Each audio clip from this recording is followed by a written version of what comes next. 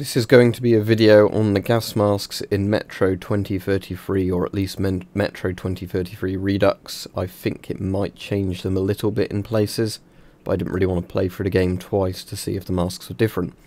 So on the posters for the Metro Redux games, on the left there's an S10 with what looks like a PMK filter on it, and on the right there is a PMK1 I imagine it's a PMK1 because it doesn't seem to have the second filter intake port on it that the PMK2 is meant to have.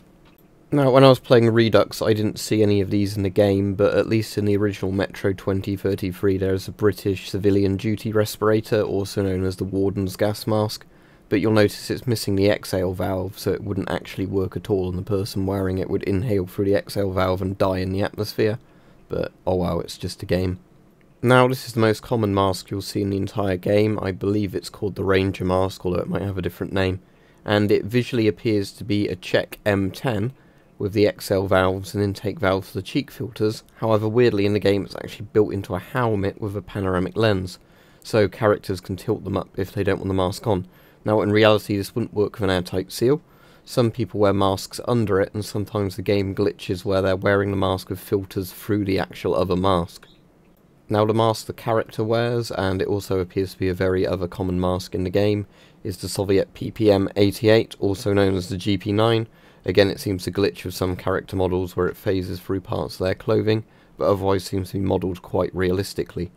Now I can't get a very good view of this mask, but I, I believe it's a French LMB respirator with the weird filter that sits behind the head.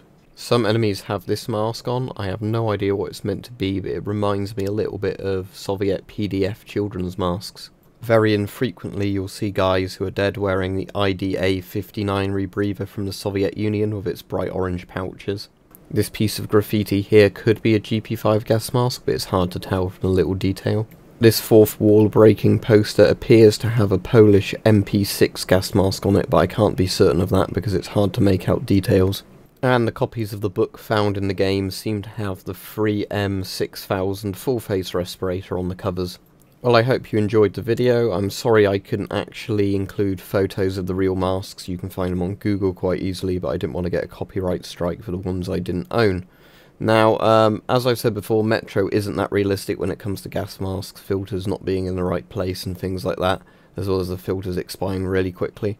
I don't really care because it's a game as said, but some people do seem to get very funny when I criticise it for that, but in no way are the masks realistic in this game for the most part, other than the GP9, and maybe some of the rebreathers, but, you know, masks missing valves and things like that, and the filters running out in a couple of minutes isn't realistic in a scenario like this, but whatever, it's just a game.